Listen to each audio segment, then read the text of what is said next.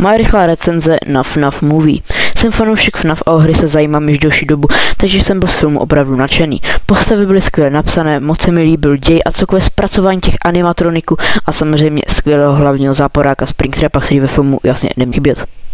Akorát tam bylo na můj vkus až moc málo horových prvků, což mi trochu vadilo, ale jinak dávám solidních 8,5 bodů z 10, takže mi určitě napište do komentářů váš názor na FNAF a uvidíme se u dalšího videa. Zatím čus.